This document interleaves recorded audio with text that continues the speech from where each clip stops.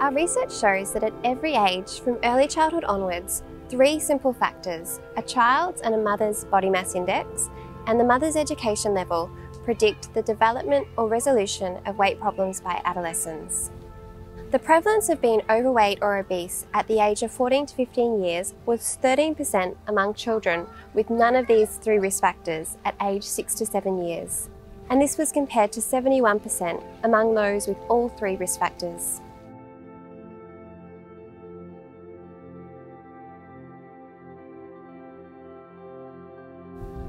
Children who are overweight or obese at 2 to 5 years of age have a low chance of resolving their weight problems by adolescence when these three risk factors are present.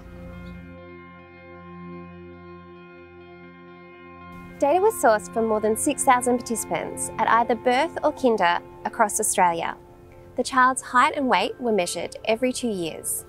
The participants and the primary caregiver also filled out a questionnaire. The study examined how combinations of 25 potential markers, such as time spent breastfeeding and amount of outdoor activity at various ages, predict and resolve weight issues.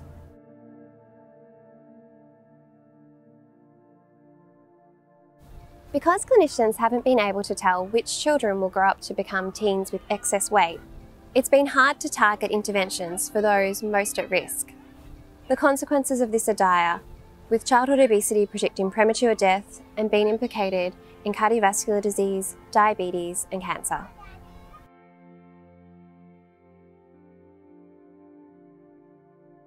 These three easily obtainable risk factors may help clinicians make appropriate decisions targeting care to those most at risk of adolescent obesity.